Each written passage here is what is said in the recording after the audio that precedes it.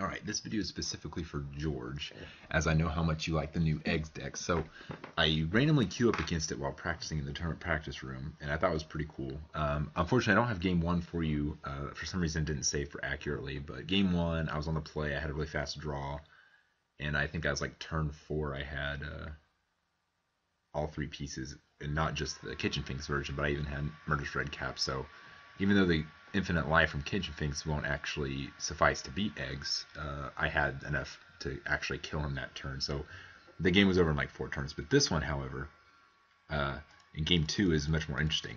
I even still had a good draw. Like as you can see, all this is really good. And or actually, I believe this is game one. All right, all right. So this is game one. So um, I guess I did have game one. I guess that means I don't have game two. I don't know. Game two or game three is missing. Basically, I um, turn three, pull out Finks to set up for Murderous Redcap, and uh, he just plays some artifacts, digs a little. I play out my guys and go get Redcap, and he just scoops. Alright, so I believe it was game. I think this is game three, that's why it's weird. Uh, yeah, this looked like my game three hand. So, game two is the good one, unfortunately. Uh, on game two, he uh, he was also about the same as you know, speed as he was last game. He just started playing artifacts and drawing cards, but I didn't have the same speed draw. I got stuck on like two lanes for a while, but I had the Aethersworn Canonist here, and so he couldn't play multiple Sunrises in one turn, so he definitely couldn't go off. And then I played Harmonic Sliver, blew up one of his Lotus Blooms, copied my Harmonic Sliver, blew up two more artifacts. Um, so it really set him back. But eventually, he just he had one big turn where he played one big second sunrise, and that drew him uh, like 12 cards. He found the Py- uh, Pyrite Spellbomb, killed the Canonist, and then I also had out at the time my um, Gaddock Teeg, so he couldn't play Faith's Reward because it was four mana. He can't play cards four mana or greater. He also could play Reshape because he couldn't play spells with X in the cost. And just in case he was playing the uh, oh the red X spell that can't be countered Banefire in case he was playing Banefire. I thought he would be useful there. So I had him pretty locked out, but eventually he kills it there. Once he had the Pyrite Spellbomb out and, he, and killing the Canonist, he could replay more Sunrises. So he played Sunrise, got it back, killed the Gaddock Teeg, and then eventually used uh, Bitter Ordeal, which Gravestorms. And so he killed me that way, which is really cool.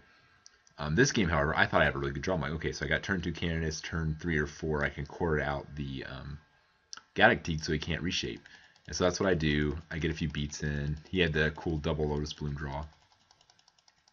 And yeah, here I just take his uh, Pyroclasm, which he happened to have with my Duress. I wasn't expecting that at all. Like I've never seen any list play Pyroclasm, but that's like obviously the perfect card against him. And that he had, I think, Pyroclasm and like a land and an artifact in hand, so it was really good. So it's like, okay, so I can still get this. He derps a little on his turn, not ready to go off. I sacrifice a turn of attacking to go get um, my Gaddock Teeg to make sure he can't reshape and do shenanigans. And here's where it gets interesting. Um, he plays his thing. I'm like, oh crap, and he guess he drew a Pyroclasm.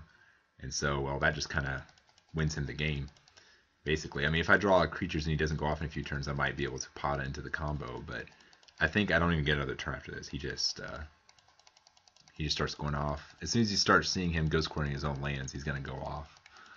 And so um, yeah, that was my funny story about getting steamrolled games two and three with pretty good draws for that. I drew both of my good hate cards, except for my graveyard hate, but um, yeah, it's pretty sad. He starts making a bunch of things. He gets Pyrite Spellbomb and kills me. He doesn't kill me with Bitter Ordeal here because uh, he had to go.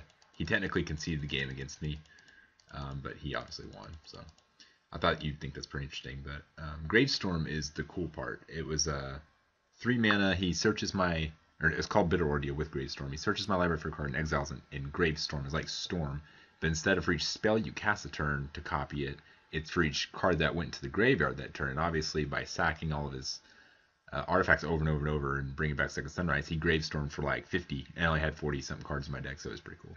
Anyways, I thought you might find that interesting.